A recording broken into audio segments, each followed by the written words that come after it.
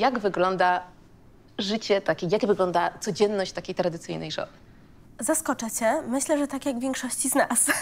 Wstaję, robię to, co każdy człowiek, czyli ogarniam się, a później idę i zajmuję się domem, czyli idę do swoich obowiązków. Wiadomo, zaczynam od śniadania, przygotowuję dla męża, dla siebie.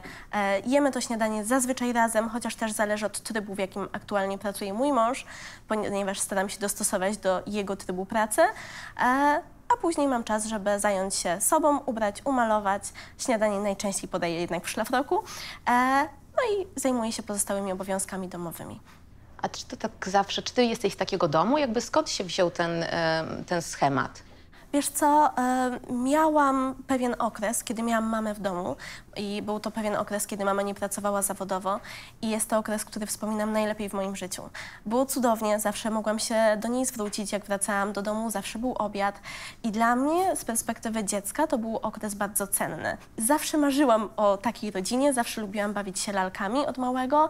Jak bawiłam się lalkami Barbie bawiłam się w dom, no to zawsze też to wyglądało tak dosyć tradycyjnie. Mhm. A czy te wasze relacje w, w rodzinie, y, te wasze relacje z wyboru, to dotyczą tylko właśnie takich em, codziennych czynności, w których ty opiekujesz się domem? Czy również to przekłada się na jakieś decyzje? Nie wiem, kto podejmuje decyzje finansowe albo jakieś takie, wiesz, ważne, takie partnerskie mm, e, kwestie? Już mówię.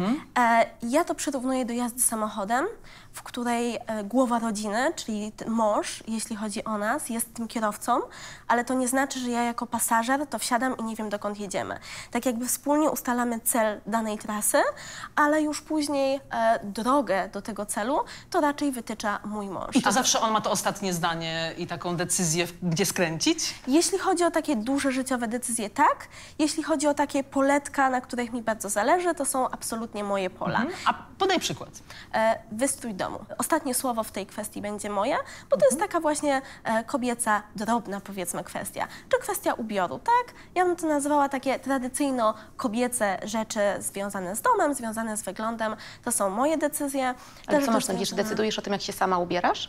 E, ale też jak gdzieś wychodzimy, to też podpowiadam, jak mój mąż dobrze A było. czy to jest tak, bo ja zauważyłam na twoim e, profilu, że jest pewna stylistyka związana z, em, z, no, z, no, z żonami tradycyjnymi. Z tym hashtagiem Czy to jest tak, czy to jest tak, że o, to obowiązuje jakiś, no, jakiś konkretny styl, e, który nawiązuje do e, jakichś dawniejszych czasów? To, co myślę jest takim wyznacznikiem dla Tradwives, to jest to, żeby ten strój był godny, skromny, żeby nie odkrywał e, bardzo dużo ciała, żeby była jakaś tam zachowana różnica pomiędzy strojem męskim a kobiecym, tak, żeby to nie było całkowicie androgeniczne.